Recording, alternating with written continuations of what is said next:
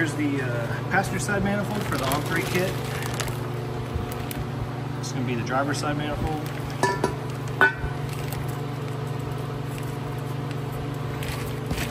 I did notice this kit doesn't come with bolts, so I'm going to reuse the bolts from the uh, ultimate headers. Those are also uh, Cometic gaskets, so I'm going to use them as well.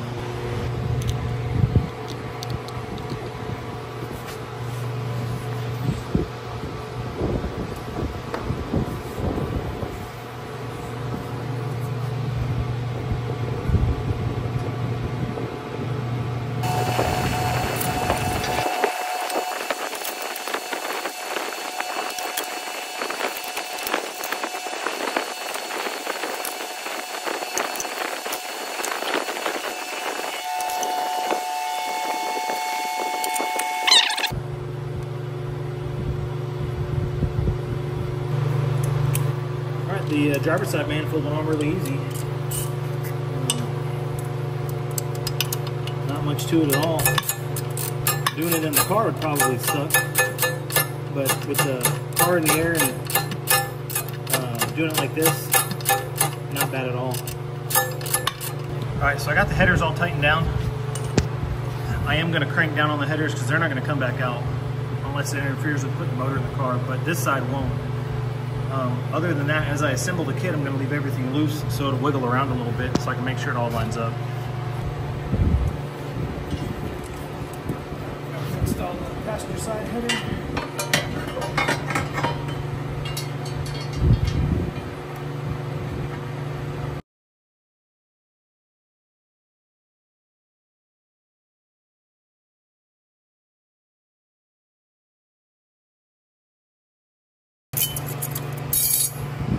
On3 sends you this little extension pipe.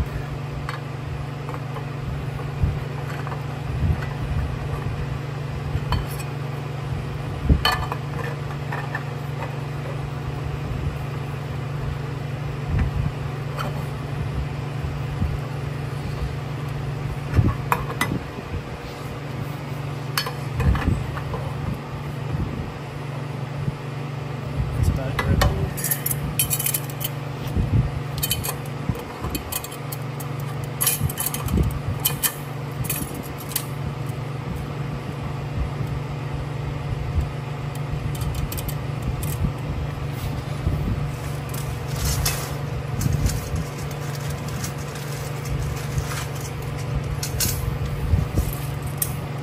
All right, so remember, um, doing all this stuff loose right now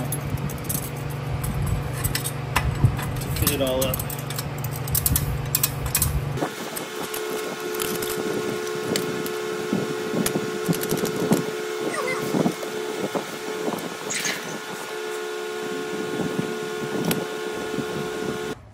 So it's a lot easier to do with the with the motor outside of the car. Um, also, I had to use one stud and then this other bolt right here on the bottom I'm pointing to. Uh, this one right here. I had to cut uh, about a quarter of an inch off of that bolt to make it uh, so it would fit in there. You can see that that bends real tight. Um, we're using a factory style exhaust manifold gasket instead of the uh, graphite or whatever the heck comes in the kit. Just, I've had better luck this way. Um, main thing, bolt your headers up. You can crank them down as much as you want, get them as tight as you want, because those are not gonna move. However, you do have this flex merger here, this little tiny pipe here. Um, by the way, I will flip this V-band around later, that's bothered me. Um, also, this one will get flipped, this one will get flipped, this one will get flipped. And that one will get flipped. Uh, also, you can use all, all bolts on this side. Everything here is no problem. But, so leave every, tighten down your manifolds, put your merger on. Um, let me see here.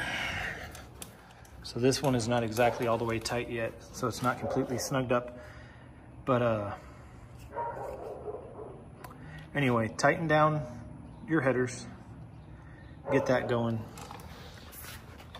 I started on this side over here. I put this little piece on first, tighten down that V-band there, and then loosely put this V-band on. I didn't have anybody to help me, so I used a jack to support the merger and got this side over here close, put the V-band on, and then snugged it down somewhat. What you'll find out is if you don't have the, the merger up high enough, your uh, wastegate is gonna hit your balancer. You can see there's like barely any room in between the two. So lift up the merger somewhat and then snug that one and that one down. That way you can get your wastegate position right and you won't have to worry about the balancer part. Also, I left this loose for now, just so I can aim it right. As for the downpipe, um, we were sent the wrong downpipe in the kit. So I had to make a trip back to On3 and now it's back. Everything bolts up. You can see there the flange is right. I'll put some pictures of what the other flange look like. Um, where your 202 sensors go. The good part is at first because we had the wrong flange, we're like, does was it backwards? Well, uh, we figured out later that this is the routing of it. So your O2s will go here. So it's far enough from the turbo that you won't kill them.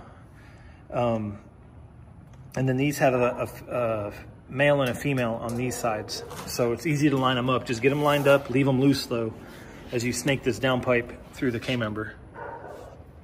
Like it's it's a tight fit. I'm not sure what it's gonna look like in the car yet, but uh, you know, we're gonna try this route before we just go out the fender with it. If we do go out the fender, we're gonna take this pipe here, probably cut it off here, turn it that way, and just shoot it right out the side. The computer isn't gonna be mounted um, in the engine bay, so that won't matter either. Um, but that's about it. Um, pretty much everything fits good. On3's customer service has been great. They they were missing one V band, and then they uh, they fixed this. Also, the compressor housing uh, had a little bit of damage from shipping, and they swapped that out too. But uh, that's all for uh, part one. Part two will be uh, getting this thing in the car.